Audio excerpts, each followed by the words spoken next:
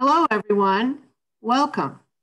Research America is bringing you a special holiday treat today a fireside chat with Bill Novelli and Frank Sesno. If you've always wanted to participate in a master class in advocacy, you've come to the right place today. Bill Novelli and Frank Sesno, two extraordinary communicators. They will highlight strategies that can overcome seemingly insurmountable obstacles. We all know something about those these days and achieve major policy, advocacy, and business objectives. I've known Bill Novelli for quite some time and can say that his wit and wisdom and creativity are second to none. Bill's the founder of the Business for Impact program at Georgetown University's McDonough School of Business. He's also the former CEO of AARP, the founder and chair of the Campaign for Tobacco Free Kids, and co founder of Porter Novelli, the award winning communications firm. Bill's an emeritus member of the Research America Board of Directors.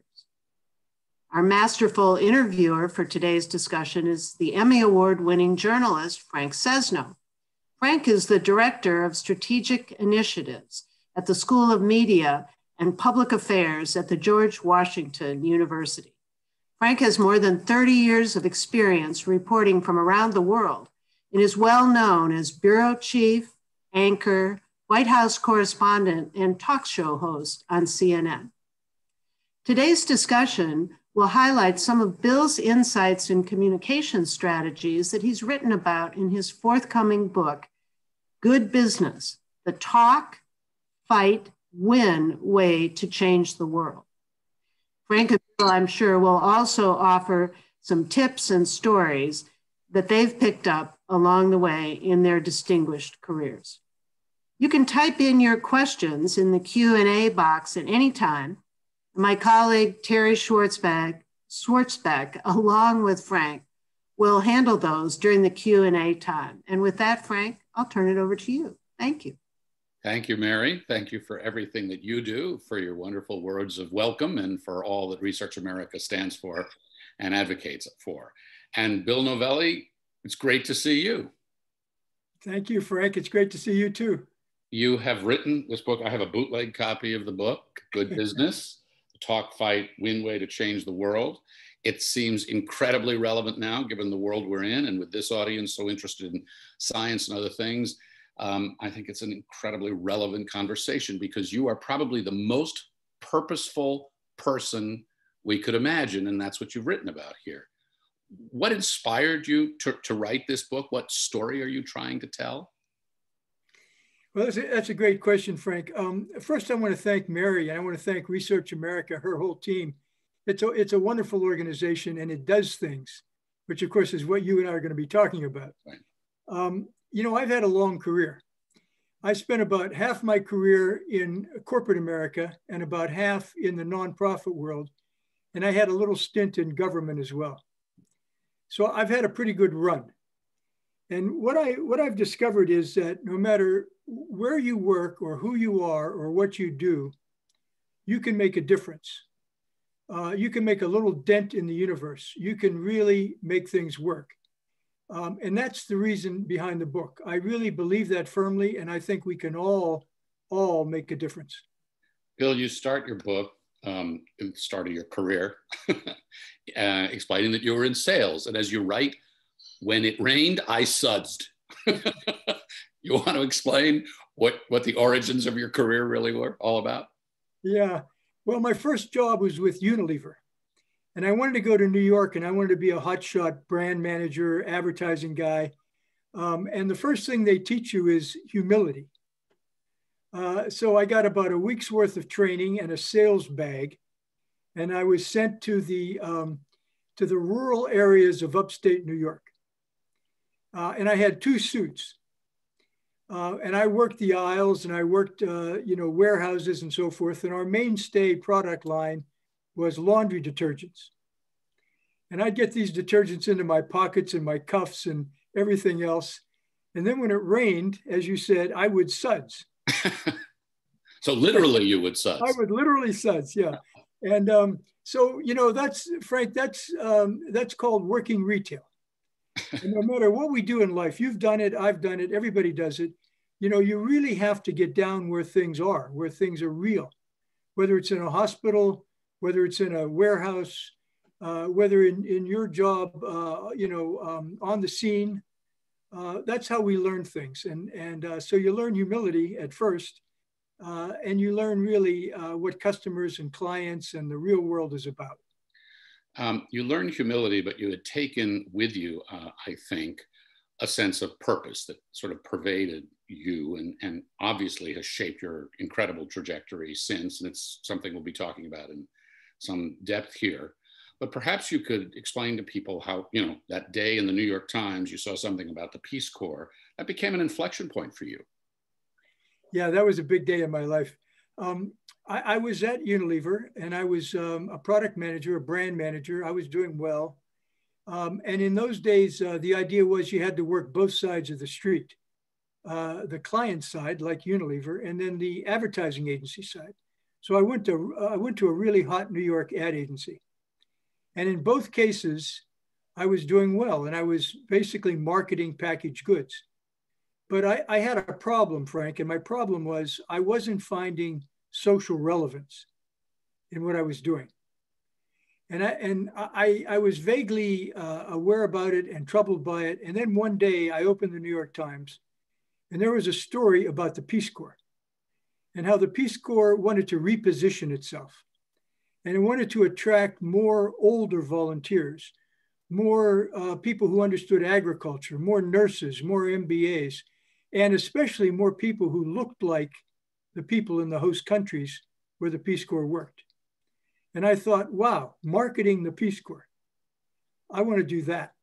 So I applied for the job, and through good luck, good fortune, whatever you want to call it, I got it. So I went from marketing laundry detergents and kids' cereals to marketing the Peace Corps. You didn't suds anymore after you uh, made the move. well, I did go. I did take long trips into Africa and other places as part of the Peace Corps, and I didn't suds, but I saw the real world. Your work in the Peace Corps when you went to Porter Novelli and you started that business, the campaign for tobacco free kids, your work at AARP, all have what you write about here at their core, which is purposeful work. And Bill, I, am thinking of people who are, who are joining this conversation now, many of them in the sciences, many of them in research. They, they are driven by purposeful work. But purposeful work seems that it's gotten so much harder because evidence-based thinking has been under attack. We're in such a more polarized population. You are a survivor, veteran, victor in, in, in Washington. What, how, what do you counsel in terms of purposeful work given the environment that we're in now? I think you're right, Frank. I think things have gotten tougher um, for a whole variety of reasons. I mean, we are really uh, a divided country, but um, I don't think it needs to get in our way. In fact, I think it's a reason why uh, we need more purpose. So, you know, I work with MBAs. You teach at George Washington. I'm at Georgetown. Um, what these young people say is uh, that they want purpose as well as a paycheck. Mm-hmm. I think that's so powerful. We see that in survey after survey, Gen Z, millennials in particular. That seems to be a substantial change.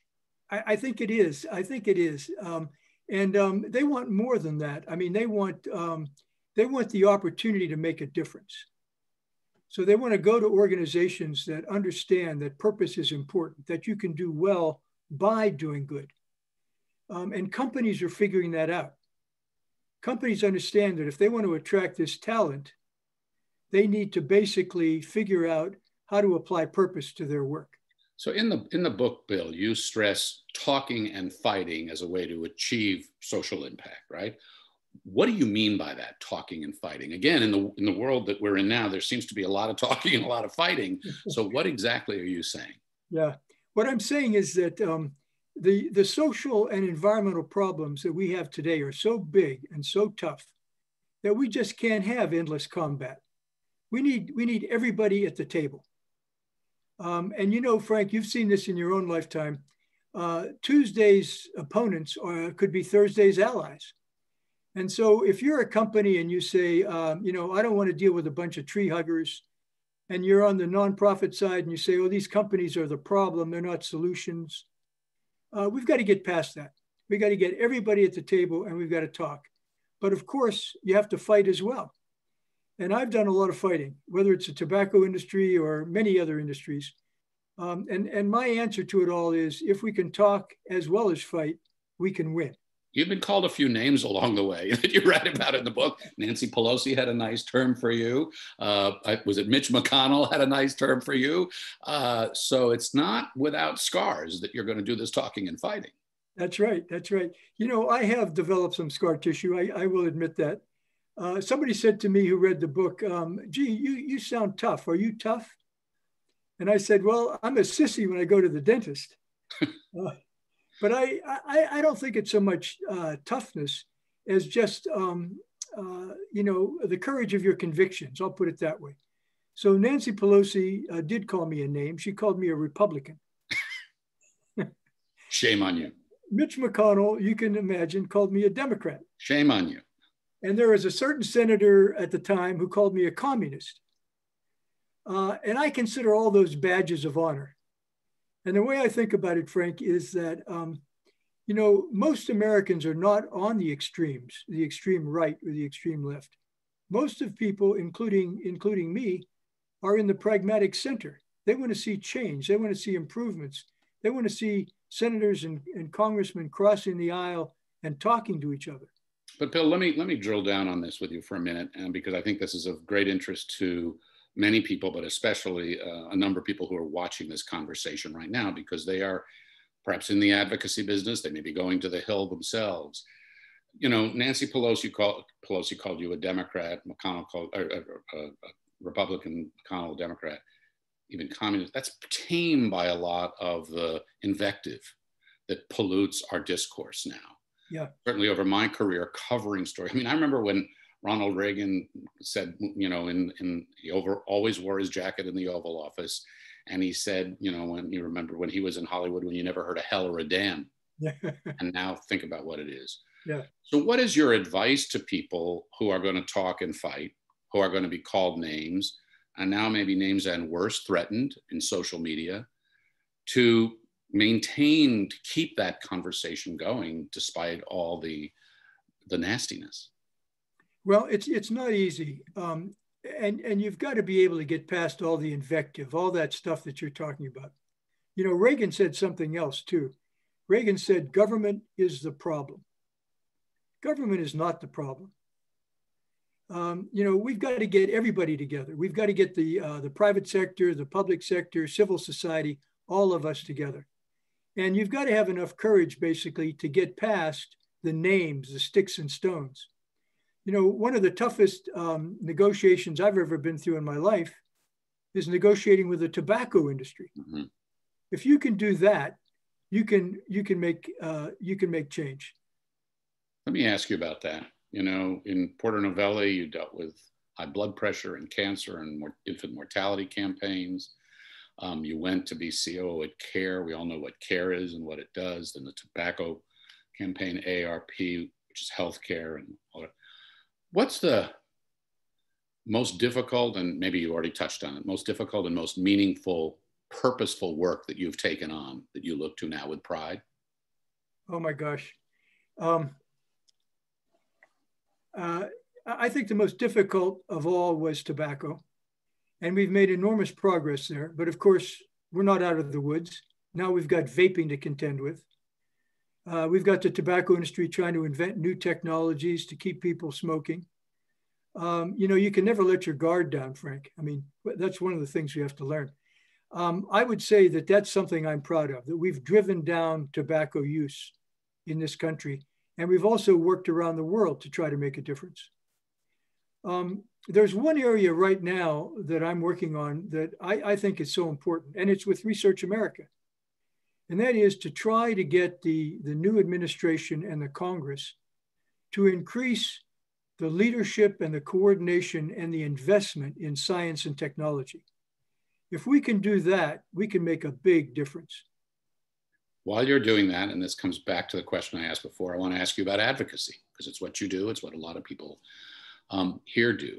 Um, in this environment where everything is so politicized, but there's a new administration coming in, what are the three things that make for really effective advocates? Well, we talked about one of them, and that's the ability to sit down at the table with somebody you don't agree with. I'm going to give that one uh, prime. That's that's really critically important. And you know, you can't get you can't get sucked into all, all this invective and all this name calling. I mean, it's so easy to do. And as you say, uh, things have gotten even more coarse than they've ever been. Um, and so we've got to get we've got to get past that. Number two, I would say, is uh, do your homework. You know, you can't make this stuff up. You've got to believe in the research. Uh, you've got to believe in the science. When you go to the table and put a piece of paper down and say, this is what is, um, people have to be able to depend on it. Otherwise, you will not be considered reliable. And, and the third thing, I'm sorry, Frank, I was going to say the third thing is uh, nobody can do this alone. We all need allies. And that's why partnerships are so important. And is the best advocacy bill also accompanied by a public advocacy strategy? Or is the best advocacy done sometimes or first or most behind closed doors? Oh boy. Well, I would say that um, the you know uh, these these people we're talking about, and it's not just in the Congress, it's the politicians in Sacramento, in Albany, in Tallahassee, all of them. Um, they know that votes count, and so we need public support for the advocacy that we're recommending, for the policies that we're recommending. If they know that we've got the public behind us and we've got strong allies behind us, they're much more inclined to listen and to act. You know, there's a, you mentioned the tobacco challenge that you had, and it makes me think of an awful lot of things that we confront now. You were surrounded by disinformation, right? Right. Science was called into question.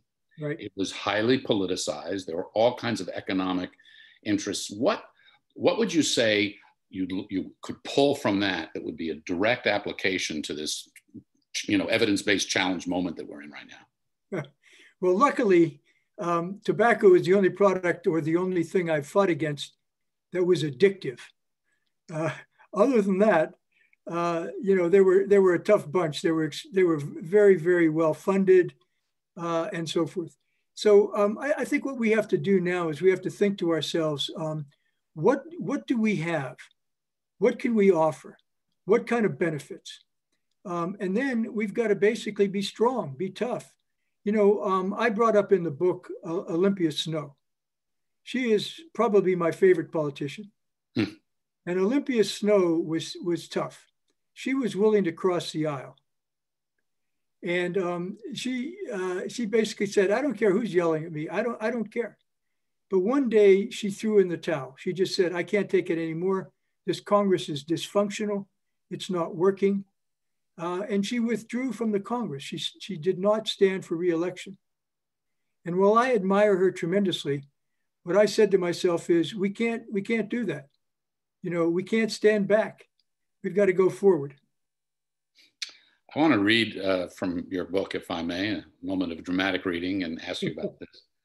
You write, we need government, and government is highlighted there. We need government to create policies and adopt and fund innovative approaches to advance economic and social progress. And all three sectors, you write, need to be in sync and work together. And I'll ask you about those sectors in a minute. That's business, the public sector, and government. But today, as I mentioned, trust in American government and its capacity to deliver is at a serious low point.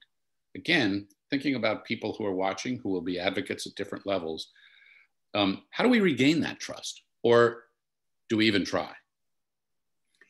Um, I, I, really think we need to regain our trust in government.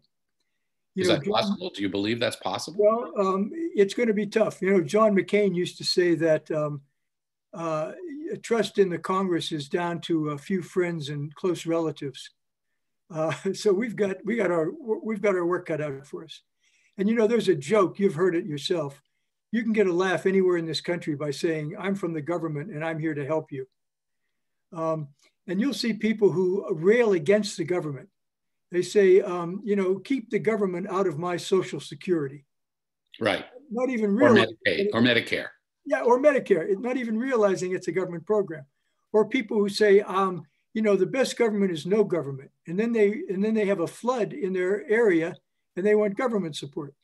So um, what we've got to do basically is we've got to get our, our politicians to understand that when they undermine the government, they're undermining our democracy. Um, and the only way to do that, I think, is to be strong, is to work, as I said before, in partnerships, uh, to take on big issues. I mean, the biggest one I can think of right now is climate change. Right. How did we come to politicize the climate? So how do we come to politicize face masks in the middle of a pandemic? Everything. Now, now we're in danger of politicizing uh, vaccines. Um, we've got to we've got to get past that, and I think we can do it. And I think it starts uh, bottom up at the grassroots and top down by people like us going to Congress and making our case. Do you think our political divide is permanent? I don't. I don't. I'm I'm an incurable optimist. I think it's tough. We, we talked about how tough it is. But you know, uh, the United States has been through these periods before, and they tend to be cyclical. Um, and so far, uh, so good. I know it's tough, and I know it's it's a difficult time, but I think that if we get the leadership in place, we can make a difference. Bill, what do you think we have learned from the COVID crisis, if anything? You know, we we we're in this with the rest of the world, obviously. We've seen highly politicized messaging to include face masks, as we just discussed. What have we learned, and how might we apply it in a positive way to your points going forward? Well, on the negative side, Frank, um, I think we've learned a lot, and we've shown how really foolish we are. Uh, you know, Ben Franklin uh, once said, um, experience keeps a dear school. He meant an expensive school, but a fool will learn in no other. And that's us we're short-sighted. We've short we've shortchanged uh, prevention and public health and science and technology all these years. And so when a crisis comes along, one that we can even foresee, like a pandemic, we're not ready. Um, and so we've, we've, we've learned that the hard way. And hopefully we're going to get a little bit more, uh, a little more farsighted as a result of this. Bill, I've had the pleasure to work with, Re- with Research America as well in the past and other organizations, sort of looking at how we communicate science and advocate for science without turning scientists into, you know, partisan advocates, which is not part of the job description and shouldn't be. Um, but I'm wondering what what you think and what your advice is to to put science into the conversation. I mean, you've dealt with it in so many so many issues, right? And you know Washington so well there's people who say that if you just talk facts and just talk science, you lose people. You gotta you, you gotta connect with the narrative and whatever. And yet we need to talk about the science.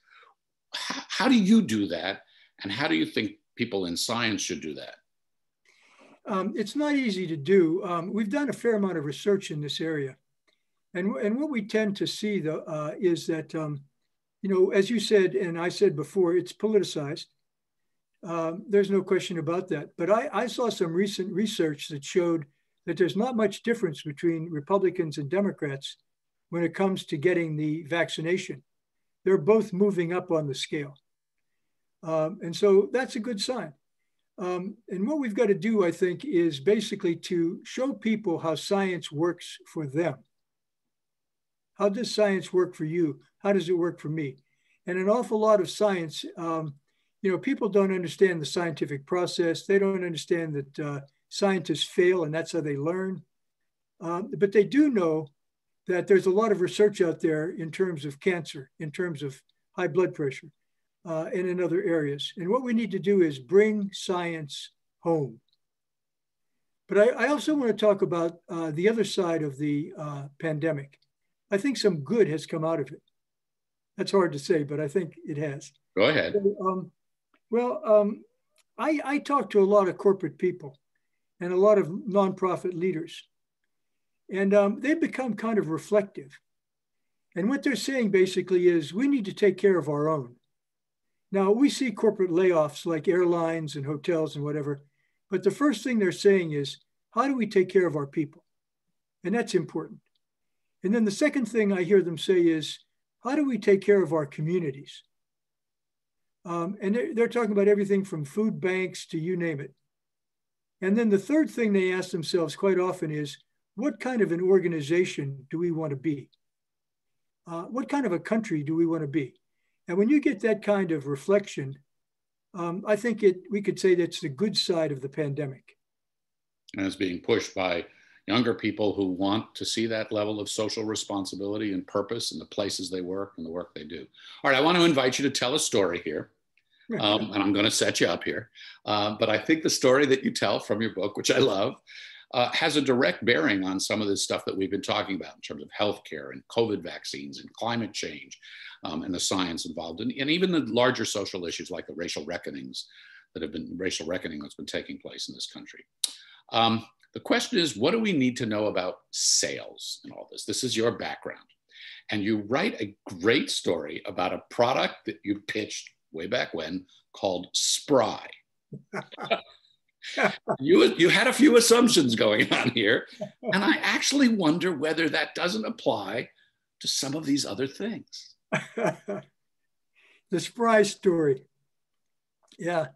Well, um, uh, first, I have to say that um, uh, Unilever had this product called Spry, and um, it's it's long gone now. But I think people still remember Crisco, the Procter and Gamble uh, counterpart, and uh, you know what that basically is is cooking lard.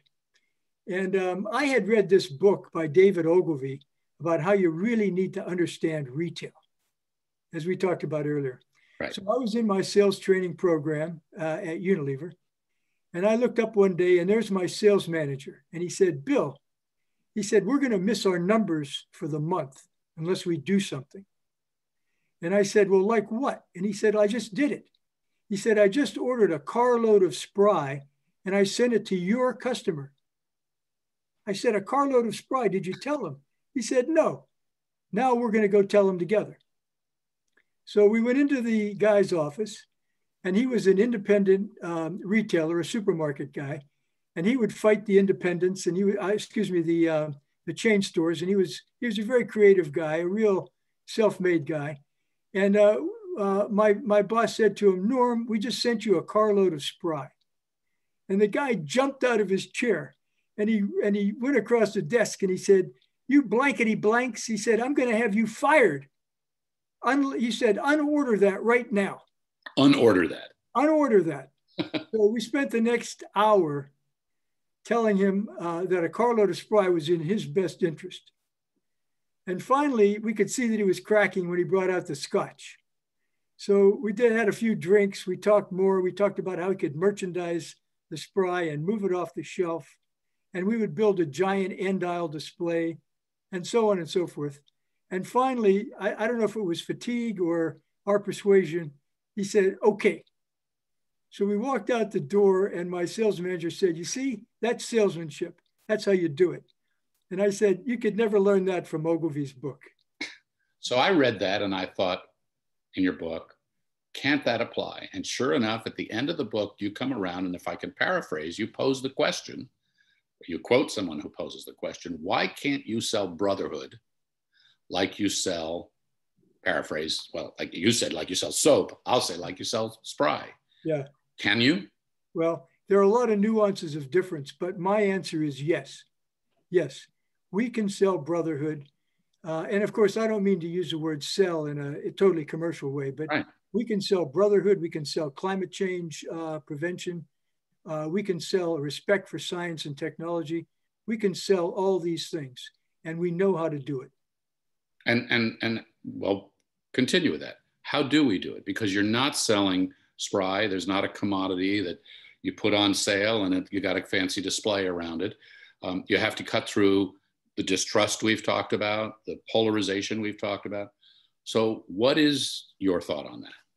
Well, there's no easy recipe, but we've talked about it, Frank. We've talked about partnerships. Uh, we've talked about talking and fighting. We've talked about really putting public pressure on our elected officials. Uh, we've talked about being willing to go to the table uh, uh, and not get into fistfights. You know, all the things that we know how to do. It's it, this is not um, this doesn't require a revelation. I mean, we've got the tools to make the changes that we need, and we ought to do it because we owe it to future generations. We've got a fabulous country, and we owe it to our grandchildren. I love your optimism, and I agree with you.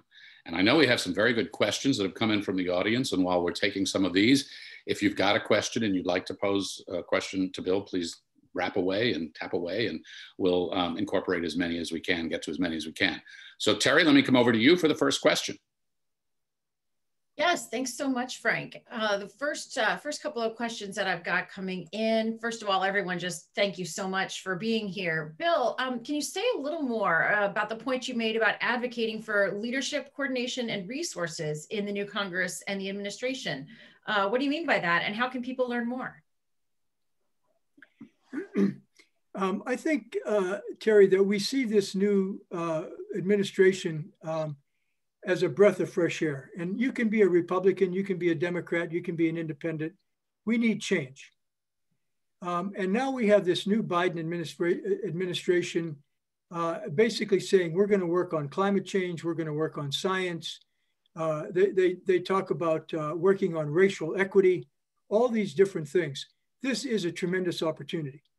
We need to talk to the transition team. This is the time to talk to Congress, especially back home.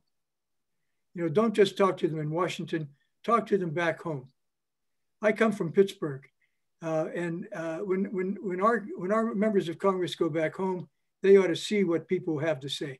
So, Bill, what what do you mean by that? Do you mean that people should talk to their Congress Congress members in the communities or their their staffs, or what should be happening on the ground? Well, um, we should be talking to their staffs all the time, all the time. Back home back home. But when a congressman or a senator is back home, and again, I go, these are this is true of state capitals as well. Uh, when they're back home, uh, they want to hear from us. And you know that old thing, Frank, about grass tops and grassroots. You know, grass tops and grassroots is powerful. So um, at, at um, AARP, uh, we had a woman who was an advocate, a policy advocate, and she used to say, "There's no better grass tops in America than physicians because they lobby you when your clothes are off. That's grass tops. Uh, okay. Terry, I can't think of a better way to hand it back over to you for another question. Absolutely. Um, another question that's come up you mentioned uh, the importance of bringing science home. Uh, are vaccines part of this? Will vaccines, and particularly the COVID vaccine, help people see the value of science in a new way and maybe for the better? I think the answer to that is yes. I think vac- vaccines are an opportunity for us. And of course, uh, they do need to be effective. And, you know, we need to worry about side effects and, and so on and so forth. But right now, the way things look, vaccines are an opportunity for us to promote science. Now, there are uh, doubters and, and people who have vaccine hesitancy and all that. We need to work on that.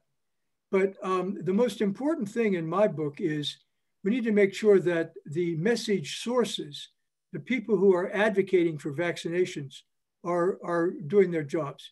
And I don't just mean, um, you know, Vice uh, uh, President-elect uh, Biden getting a vaccination.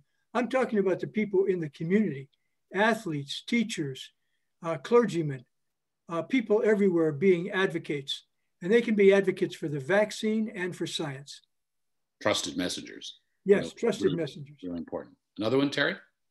Actually, this builds on that question. This uh, question comes from a graduate student at the University of Pittsburgh, leading a group aptly named the Influenzers. And they are an interdisciplinary group of graduate students trying to address vaccine hesitation in the Pittsburgh area. So, do you have any more advice on open civil conversations with people whose views may not align with theirs? And how can we deliver that evidence based science in this kind of climate? Well, first of all, I love that title, The Influenzers. That's, that's terrific. So, go Pitt. um, uh, here's what I say to the influenzers, and they already know this, but you've got to get out into the communities. You know, go into the Hill District, talk to people there and make sure that it's not just a TV message or a newspaper message. Uh, make sure that you get into the community and have the right people, as Frank said, the trusted sources. Um, I think that's probably the most important thing they can do. And of course, uh, what they also need to do is let people know how the vaccine is working in the Pittsburgh area. Bill, could I could I follow up on this for a minute? And actually, I would make a connection to the tobacco campaign, which you know so well. One of the things that was so effective with the tobacco campaign, the broad tobacco campaign, anti-tobacco campaign, was the whole idea of secondhand smoke. That sure, if you want to smoke and harm yourself, that's one thing. But if you're going to exhale and harm other people who are not smokers or nearby, that's not acceptable. And that got broad buy-on, and so so much why we don't have cigarette smoke in public places now. Is there an application of that messaging around vaccines and COVID? I think there is. I think that's a terrific analogy. So you you and I are old enough to remember when you could sit on an airplane and somebody was uh, two and a half feet away from you in the smoking section, blowing smoke in your face. Right. Secondhand smoke turned out to be a really good argument for us. And so I think it now applies to masks and it applies to uh, vaccinations. So what we want to say is, um, regardless of, you know, you might think it's a free country and you can do whatever you want, but think about others. Think about your family. Think about your grandparents. Put on that mask. Get your vaccine. Uh, get your vaccination. So yeah, I think that's great. Terry, got another? Well, here's another one that kind of builds on that. How do you sell things that require short-term hardship to achieve the longer-term benefit to people who are maybe are hurting? Um, we all know that the, there's been so much challenge with the uh, economic impacts of this uh, of this pandemic. Or since you're from Pittsburgh, think fracking in Pennsylvania. no, that that question was asked by a, a psych major, I think. Um, we are we are terrible. We are terrible at um, foregoing short-term pleasure for long-term gain. Uh, even little kids, we we know this from experience. So it's really hard to say to somebody, um, we're going to help you lose weight, but it's going to take a year. Or say to a congressman, um, we have to prepare for the next pandemic, and it's going to cost X billion dollars, and it may not occur for 36 months. These are these are hard things to sell, and um, so what we have to do is we try try to short make make the um, uh, make the progress um, incremental uh, and say to yourself, um, if you do this, if you begin to exercise or if you begin to invest in science, we're going to see uh, gains over time. You don't have to wait till the very end uh, for progress to be seen. Harry?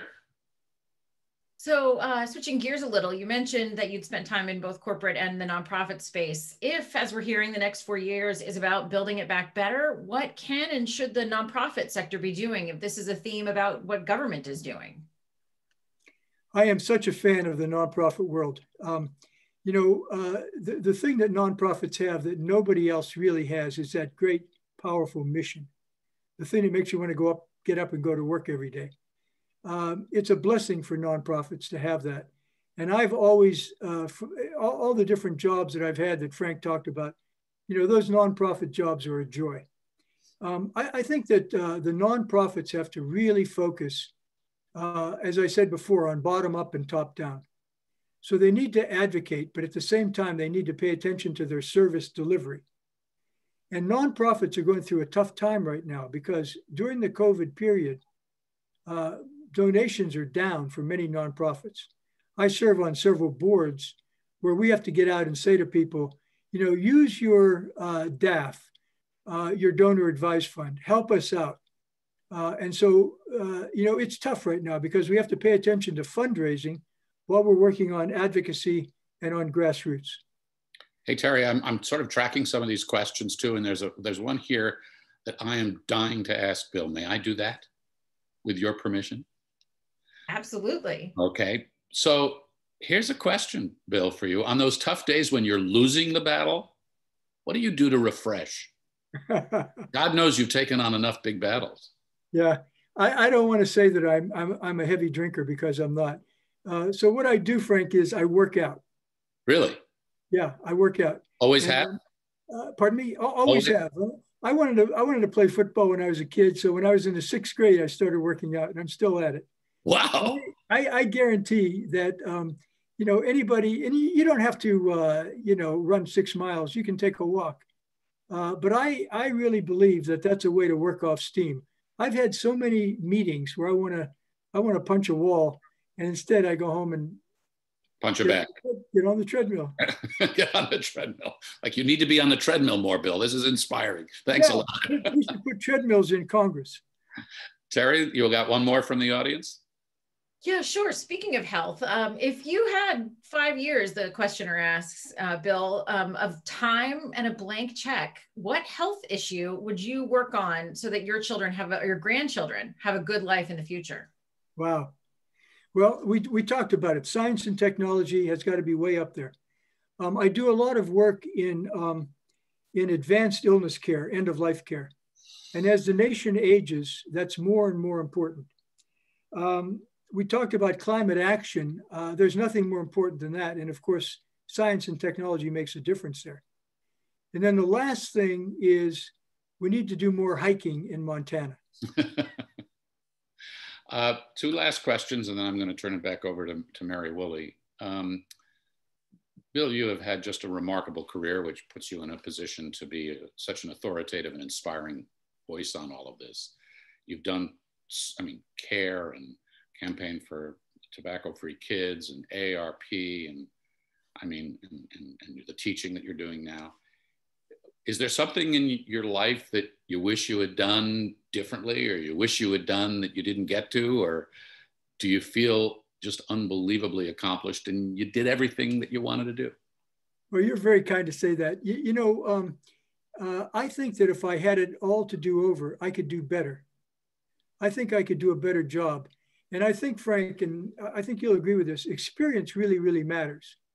You know, if you've seen things a few times, um, you're better prepared to act on them. And so, what I try to say to young people is um, do your best, but as you grow and as you um, gain more experience, you'll do a better job. I'm, I'm, I'm happy to do that, but the journalist in me will push back on you and challenge you and say, you've done a pretty damn good job. Thank you. There's, you've, got a, you've got an item in your book that struck me that I'm just going to cite here because you were talking about youth smoking. In 2000, 28% of kids were smoking.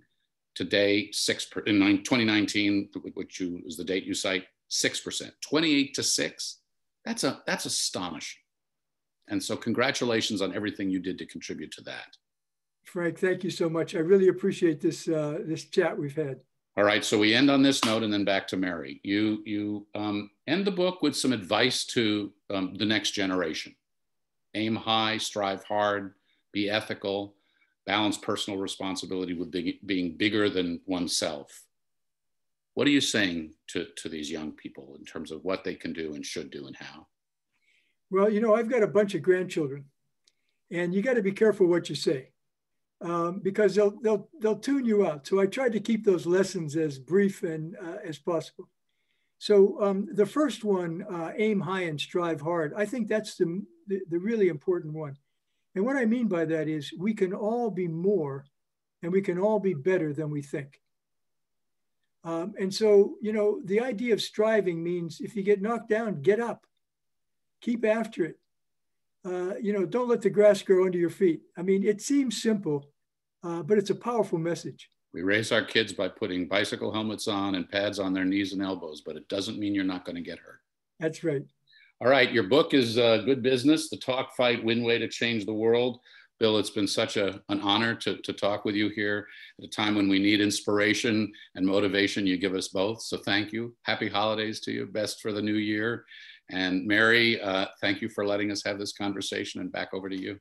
Oh my gosh, thank you both. Um, superb conversation. I feel inspired, including to go for a walk before it starts snowing. But more than that, you know, I just feel my advocacy commitment being regenerated and repurposed because I've been in the company of you, Bill, and you, Frank, who are leading purposeful lives. And that's what it's all about, isn't it? Um, so I, I, thank you most profoundly. We look forward to your book, Bill, coming out in February. You can pre order it now. We saw that in the chat from at least one person.